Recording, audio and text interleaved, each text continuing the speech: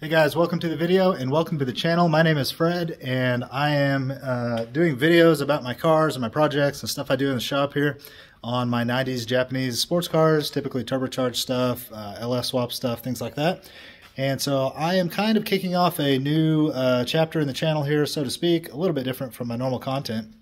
I'm going to try to do more talking um, content, more um, probably my face on the camera style stuff like I'm doing right here, and more talking about the cars back there. So a little bit less uh, how-to and technical and step-by-step type stuff, and more uh, what you might think of as vlog style content. So this is going to be the first video in a series of that where um, I basically just talk about my projects and show you what I've done and talk about what I'm going to do next. And basically you can kind of get to know the project and see what I've done to it. And you can ask me questions down below if, if you have any questions. Uh, you can tell me how you would do it differently. If you want to tell me, you can also tell me uh, how I've done it wrong. So whatever you want to say about it is perfectly fine. But I just thought I would uh, kind of change my style of content a little bit and attempt to do more of the vlog style stuff. So um, I thought, you know what, I'll, I'll just start doing videos about the cars and about the mods that I have already done to the cars. And uh, I'll just show you what I've done and, and uh, basically talk about why I did it and my opinions and thoughts on it. And just see how that kind of content goes and see if anybody's interested in that stuff. So today is day one of that, and I'm really going to try to do a lot more videos. I would like to do a video every single day. That would be my ultimate goal. But honestly, if I can even do one or two videos a week, that would be uh, a big improvement in terms of consistency because I've been pretty inconsistent in upload frequency lately. Um, so in an effort to upload more and provide more content and uh, grow the channel here, I'm going to talk about stuff I've already done instead of always talking about stuff I'm doing right now. So today we're going to talk about the roll cage that I've got in the 240SX back there. I don't know why I keep saying 240SX. It's a 240SX. I, that's like three times I've done that now. So anyway, S13, we'll just say that.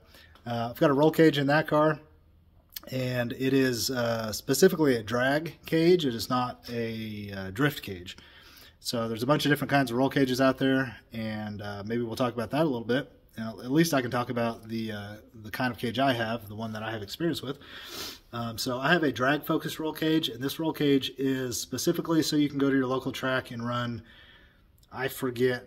I think I can run down to like a bottom nine in the quarter mile with this roll cage faster than this car's ever gone and probably faster than this car will ever go. So it's enough cage for what I wanted to do with the car. Um, it's not a super mega nice gauge. Um, there was no need for that, um, but I'll, I'll, flip the camera around and we'll talk about it as I'm showing you what I've got back there. And I'll tell you what I think about uh, driving the car with the roll cage because this is actually a street car and it always was. But when I put it together first over the past few years, the uh, the focus on the car was to go really, really, really fast in a straight line and go to the racetrack and uh, just kind of hit PBs and see how fast I could make this thing go reasonably.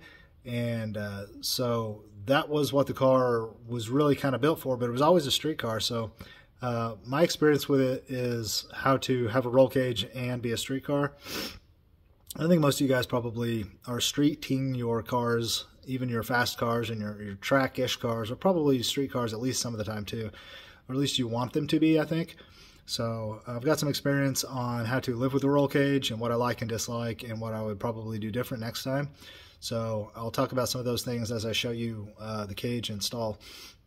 Also, I'm a real big proponent of full interior and I, I, hate stripped out interiors. I hate stripped cars. I don't even like the back seat to be stripped out on my cars. I like everything possible to still be there, if at all possible. So uh, whenever I put that thing in, the roll cage, it was a big focus of mine to make all the interior panels go back in. Um, and try to make this thing as, as complete and still feel like a street car as possible. So I'll show you how I did that in a couple of spots there and, uh, and um, show you what kind of compromises I had to make and so forth. Um, so yeah, I think that covers it. So let's flip the camera around and we'll go inside the car and I'll show you what we're working with. Okay, so first up you can see that I've got door bars here that come in and go down like that. Uh, I think that's a little bit non-typical. Uh, a lot of times you'll see them come up high up here, and if you're racing competitively, that is supposed to come up, uh, I think, higher than your elbow, between your elbow and your shoulder. So you could have a problem at the track, or I could have a problem at the track with this, but I never have. Um, but uh, technically that door bar is probably a little bit low on the backside, but uh, my focus was more on making it uh, comfortable and easy to get in and out of than anything else. And uh, this has worked out really, really well. So This cage was made by a guy named, uh, I think it's Kevin Searcy, if I remember his name right. Um, and he's in some of the groups on Facebook. And he has a company down in Texas, and they do all sorts of drift car parts, S13, S14 stuff. I don't really know exactly what all they do, but I know that they do uh, pre bent roll cages for S chassis. And he was just a few hours south of me and close to some of my family down there. So I took a, a New Year's uh, weekend trip down and picked it up. Um, his company name is on the roll cage back here. Uh, if you can read that, turn five. Is that what this is? Yeah, turn five fabrication. So turn five fabrication bent this up for me, and then I did the whole install um, on the roll cage. So I don't have a, a, tubing bender, and I've never built a roll cage from scratch, and wasn't really interested in learning how. So I bought the pre-bent kit from him and uh, installed it. So it all went pretty well. Uh, my first install of a roll cage. So I did some um, things I probably shouldn't have done, and kind of didn't do as good of a job on certain areas as I could have done. But that's all just par for the course, and how it goes when you build cars. Things don't always come out perfect. For example, here uh, you can see that I had to cut into my speaker pod right there for clearance for the door bar, and I fully intend to finish that out, by the way. Um, but I did just cut that so it would clear, and then I had to cut it right here for the door bar to clear here, which is not a problem. It's just that uh, on the driver's side, I did not have to do either of those things. So I had to cut nothing at all on the driver's side bar over there. Um, and it's just the way the thing went together. Um, I probably could have got it to rotate away from the door a little bit, maybe, and not had to do that. But the way it was notched here and back here, this is where it wanted to sit. So I just went with its most natural sitting. And then I realized later that the, the door panel wouldn't fit on this side, so I had to trim it. Um, but yeah, the driver's side didn't need that. So um, that's just one of those things that you get into when you build these cars and do roll cages is clearance for door panels. So that's something to think about. If I were to do this again, I would um, definitely ask the guy to make the door bars like high clearance, so that would probably bend in a little bit and then come back. Um, that would prevent this, I think. But that actually brings me to a better point, which is removable door bars. You can actually have these things built so that this entire door bar either swings out on a hinge or that the entire bar is just removable with pins. So they have these special fittings back here and back here where a pin just drops in and then the door bar can actually just come out. So that is one thing I would definitely do different if I were to do this over again is I would make the driver's side door bar completely removable and I wouldn't even bother doing that on the passenger side because it's so rare that I even have a passenger in here. And when I do have one in here, they just climb over it and it's not that big a deal. But since I'm coming in and out of that driver's side all the time, I do have to step over the bar and kind of lower myself down into the seat. And that does get a little bit old. It hasn't bothered me that much, but um, being that it is primarily a street car, it would be nice to not have to do that. So that's one ch- change that I would definitely make is I would make that driver's door bar over there removable. So that's something to think about um, if you're caging up your street car. Um, so what else? So the door bar comes down here and ties into the the main front bar there, and then there's a weld plate on the bottom, and then that goes up through the dash and comes up right here. And so this is the next issue on a roll cage is how the heck are you gonna like get your dash to install and make it look nice? And I haven't exactly got it to look nice yet, but I do have it installed, so I guess I can speak on that. Um, so you can see what I did there was just cut a big old U-shaped uh, notch out of the dash itself, and I cut that with a die grinder in like a really coarse die grinder bit, and I just ground it and ground it and ground it and ground it until it fit, and I just about a million times installed the dash. Nope, not enough. Grind it some more. Install the dash. Nope, not enough. Grind it some more. Back and forth and back and forth and back and forth until you get it on both sides, and then it looks like this from the outside. And so, um, honestly, that's been good enough for me. It doesn't really bother me that much that it's a little bit rough, but um, I would like to be a little bit nicer. I always thought that I would come in here and build plates that would kind of either just enclose that part or perhaps something that would actually wrap all the way around and really trim this out. But I've never really come to a good like thought and idea on how to do that. I don't really know what material to use. Um, some sort of black like ABS plastic might work, um, but then you got to figure out how to hold it down. Um, maybe I could use Velcro just to just to hold it down. That, that might be an idea. Maybe you guys have some th thoughts on that. Um, the driver's side looks like this right here, basically the exact same thing. Um, so anyway, that was an area of the install that I was really nervous about. I didn't know how that really got done. And I just had to figure it out on the fly. And that's what I came up with. Just the most obvious thing really in the world, which is just cut a big U-shaped channel header dash on both sides. And um, yeah, it's worked out and it's been perfectly fine. Um, so what else? So we've got the uh, kind of header bar here that goes across and you can see my questionable welds. Uh, we'll probably talk about welding here in a second. And it comes across and uh, connects over there, of course. And then I have no, or for the longest time, I had no rear view mirror because that thing got in the way of the stock rear view mirror. So uh, I wanted to go to 2GayCon here, which is actually, I got this there, 2GayCon in Fayetteville. If you get a chance, go to 2GayCon next year. You'll see me there.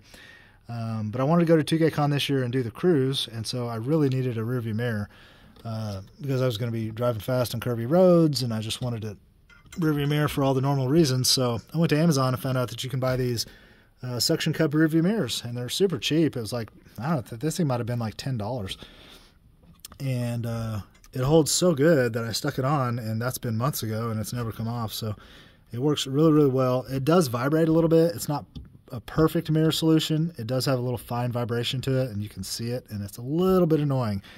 But I don't really know how to get around that. So for now, this was a super quick order it on Amazon solution that worked out really, really well, and I'm happy with that. Um, I did lose my visors also. My visors can't install anymore up here because this bar is in the way of where they mount. I do not have a solution for that yet, um, and I actually don't think I'm going to even worry about it. I don't really want a solution. I don't need visors that much. Rarely am I driving into the sunset, I guess. Um, but if I was a lot, I suppose I would probably just do a tint strip right here. Maybe have a tint strip come down about six inches and just let that be that, I guess. I don't know. Maybe you guys have some ideas. Are there visors that attach to the roll cage maybe or something? Uh, let me know on that. Um, I think, yeah, we'll either talk about the welding next or we'll talk about the rear. Yeah, I think I'll uh, throw the seats forward and we'll talk about the rear real quick. Hold on. Okay, so you can kind of get an idea of how the cage comes together back here. And you can see where I have split the side panel here and notched it out for the, the uh, cage bar to come down through. And you can see, hopefully you can see, let me climb in here real quick, sorry. There we go. Um, you can see how it was notched out up here and back here. It had to be cut in those angles and then those ways so that the whole panel could actually be installed and kind of slid into place. And it split, if I remember right, all the way into two pieces. So this front half is one piece and the back half is one piece. I think, yeah, and then you can see the door bar comes back and goes in through there and welds into this this upright here. Um, so yeah, that's the some of the trimming that I had to do to make the side panels work. Um, but that was really important to me to get that done so that I could still run the side panels and have the most factory look that I could figure out how to get. And then the rear seat still fits like stock because the the door bars come down outside the seat area instead of like down through the seat area. Some cages will come down and the uh, not door bar, but yeah, door bar and the vertical will come down like right in here and make the seat kind of impossible to install. And I didn't want that. Um, so you can see where this bar comes down at an angle and kind of pushes against the seat, but not really a problem. The seat still installs just fine. And you can see kind of some of the notching and trimming that had to be done over here to get this to work. Um, even had to cut a circle out there for that bar to pass down through, just kind of poked in just a little bit. And back here, you get another look at the notch that had to be made there. And then I, you probably can't see down in there, but there is a steel plate welded down to the inner wheel tub, and that's what this bar has to weld too. Um, so yeah, that kind of gives you an idea of the basic layout of the cage. Um, and it is a basic cage. It's nothing fancy. Certainly not a drift competition spec cage, and it's not a, a fancy drag racing cage where you can go run sevens or sixes or whatever. But again, I, was not wanting to do any of those things with this cage. I literally just installed this cage so that I could go back to my local drag strip because I ran too fast and they kicked me out and they said, "Man, you got to have a you got to have a roll bar before you come back." And I wanted to keep going and make the car faster. And so um, I had to do the cage so I could keep running. Um, and it was kind of a bummer because I didn't even really want a cage in the car. Um, but I did want to keep running. So I went ahead and did the cage. And also, I wanted the experience of having, you know, installing a cage. I thought it'd be cool to know how to do it. And it was. It was a lot of work, but um, it was pretty fun. If you can weld, you can make this happen. So let's talk about the welding. Um, so welding, so welding is a huge deal when it comes to roll cages. In my opinion, uh, the welding is kind of one of the biggest uh, factors in how nice the cage is going to be when it's all said and done is how nice the welding is. Um, so all the welds that were pre-done by the guy who built this are really good because that's what he does every day. And then all the welds that I did were not so nice because I don't weld every day. Also, I had to use a MIG welder for most of this, and I'm super inexperienced on MIG welding. I have quite a bit of experience on TIG welding, so I'm kind of backwards. Most guys start MIG and go TIG, I think. I started TIG and then literally bought a MIG welder for this project. So some of the first MIG welds I had basically ever done, at least as an adult, were on this roll cage, which is not ideal. You really want to be a pretty fluent welder before you weld on a roll cage.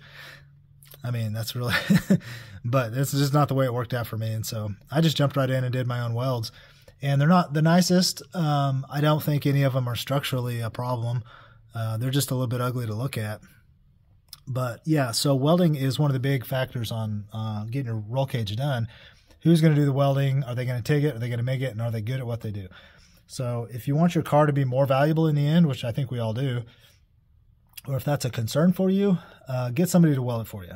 Because if you go to sell your car, uh, the welds are, welds are just one thing that the buyer can look at and, and say, yeah, that's nice, or no, that's not nice. If they know anything about welding, they'll be able to look at the welds and instantly know if they're nice or not. If they don't know about welding, then who cares, right? But uh, a lot of the people that want to buy a car with a cage in it know about cages and they know about competition and they know about roll cages and they know about welding and they want the thing to look nice. Another thing to think about is the material you have the cage made out of. Uh, these are all just basic steel. I think it's just mild steel. It's just roll. It's just whatever they make roll cages out of the low end stuff. Uh, you can step up to chromoly, I think it's called, and it's a lot lighter, but it's just a. It's as strong, but it's lighter. Um, and that's really good if you are, again, if you're a competition car and weight really matters, do that. If you're a street car, don't waste your time. Unless you want the nicest cage ever and then do it chromoly, and that's totally cool. But uh, mostly your cage is probably going to end up being steel like mine. And so, anyway, yeah, I think that pretty much covers the majority of it. Um, removable door bar, I think, was something I would definitely do. And then, other than that, everything else, to be honest with you guys, there's really no downsides to having a roll cage in your street car um, as far as functionality, other than, other than the things I covered in the video. There is a safety component to all this, though. Um, on the street, you're not wearing a helmet, so if you are in a wreck or a fender bender or something, and your head crashes up against one of these bars, that's not going to be a good time. So some guys are very, very serious about that, and they're like, you should absolutely not have a roll cage in a street car. And I don't disagree with them strictly speaking, you know, they're they're basically right about that. but then again, what are you going to do? You got to have a roll cage in your street car if you want to go a certain speed. So everybody just does it anyway and hopes for the best. And as far as I know, there's no laws around it. So guys just do it and, and get away with it. I don't know anybody who's hurt themselves in a roll cage in a street accident. I'm sure it's happened somewhere in the past to somebody. But it is one thing to think about. If your car is 99.999% street, maybe don't get a roll cage. Like, honestly, if I could do it all over again, this is my advice to you. If you want a straight line, fast speed car, and that's the intent of your project to see how fast I can go in a straight line, drag strip is requiring a roll cage. What I would probably do differently now is I'd buy a Dragy and I would just do all my tuning on the street and I wouldn't even go to the drag strip uh, that's my honest my honest opinion. The Dragy is such a good device, and I guess you guys probably know what a Dragy is by now. I think everybody does. It's a little GPS box that you just sit on your dash or in your console, and it connects to your phone, and it records your run. And you can do a straight line run anywhere you have a straight, flat, level road. You can do a, a run, and you can measure your eighth mile and your quarter mile and your zero to sixty and all that and it's so incredibly accurate that there's really no point to go back to a racetrack anymore if your intention is just to beat your own previous best and go faster than you went last time which was my whole point, then just do Dragy stuff and forget the roll cage. Um, so that's my advice and my opinion. And if I do another car similar to this in the future, that's what I'm going to do. I'm probably not even going to go to the track, mm, really any. I'll just find a long, straight, flat, level road and I'll just do Dragy runs and get my data there and get my back to back runs and make changes and raise the boost and run again. And I'll forget the roll cage. Um, now, of course, the roll cage is there for safety in case you roll over, and I would not have a roll cage in that case.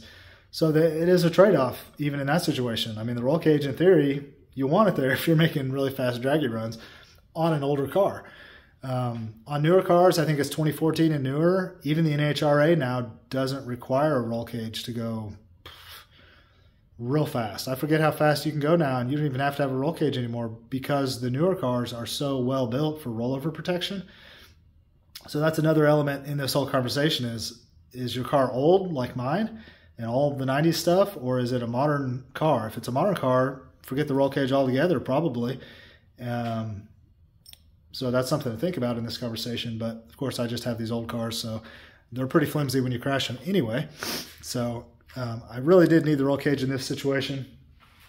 But uh, let me know uh, what you guys think. Um, give me your thoughts on the roll cage. Let me know how you did it. If you have any questions or opinions or input or stuff you think I should have done different, or if you have any questions about what I did, let me know down below in the comments. I like to interact with you guys in the comments section whenever I can. Give me a sub on this, guys, if you enjoy this kind of content. I'm going to do more walkarounds and more talking about the specific areas uh, of my cars. By the way, I should have mentioned it. This is an LS swap with a T56 transmission. Uh, it's not turbocharged currently, but it is turbo. It's turbo, but it's not turbo. So I ran it turbocharged, ran a 980 at 142 in the in the quarter mile. And uh, just this year, I took the turbo off of it and ran all summer non-turbo. So here's the turbo for it. Uh, it's a G42. So if you're interested in that car and want more videos about that or want to see more of my stuff or just uh, kind of want to follow along, give me a sub, guys. I really appreciate it. And again, I'm going to try to make more content, kind of more conversational style stuff like this, uh, more walkarounds and things. So if you enjoy that kind of stuff, give me a sub. If not, that's totally cool too, guys. Otherwise, I will catch you guys on the next one.